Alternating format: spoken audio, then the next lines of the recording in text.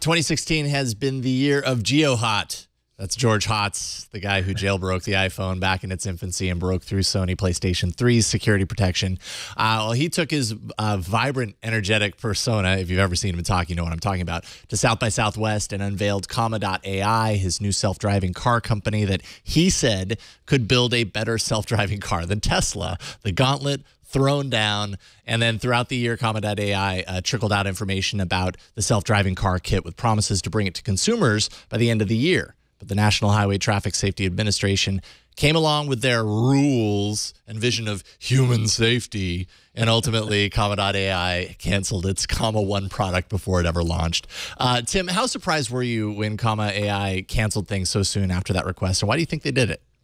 Um, it was definitely an interesting sequence. We'd actually just um, done an, an, interview with George not that long before, and um, and the, which was always an interesting experience on its own. Yes. Uh, but you know, we, we were left having a lot of questions about the, the viability of this platform. You know, the idea that you could spend a thousand dollars and plug something into your car and make it autonomous is a bit fanciful to begin with. But uh, we had a lot of questions about uh, legality and regulation and everything else, and it turns out NHTSA did as well, as you mentioned. Um, so it, it was basically the the instant that there was any sort of notion that the government was curious about what was going on was enough for for George to say okay, that's enough. I'm not going to bother doing this anymore. So at that point, he announced that it was done. The project was over. Um, but actually, just yesterday, uh, he gave an update to us and actually showed us a new version of the hardware, basically taking everything and moving it into a smartphone.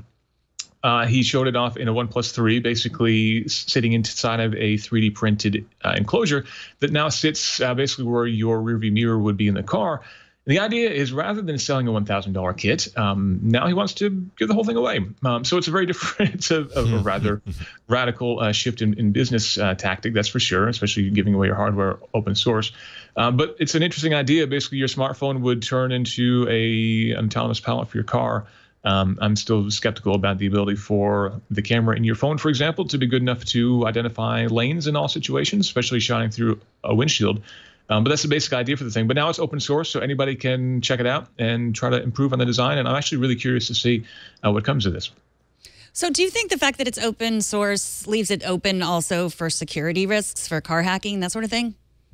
I, I don't think that's much of a concern in this case. Um, the, the, way that it's actually interacting with the car is is pr- pretty well known at this point through the OBD2 port.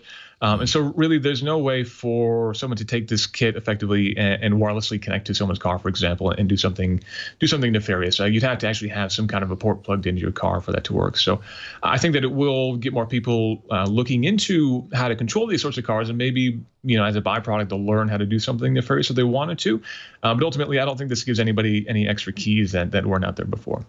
What do you know about the app that's on the comma.ai websites, Dash Train Self Driving Cars? Like I downloaded on my iPhone. Um, it looks to be something that just is it is it like I'm helping uh, map the roads, that sort of thing. Yeah, the basic idea was that George Hotz was going to get a lot of people to download and run this app uh, and basically run it on their phone, looking forward and effectively giving more data to them to, to, to basically train their systems.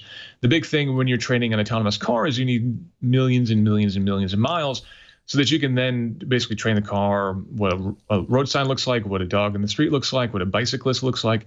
Uh, and a really easy way to do that, or a great way to do that, is to basically crowdsource it and get lots of other people to do it. So mm-hmm. basically, that's just training the the, the system, uh, and that they can then rely on that data to to make it smarter.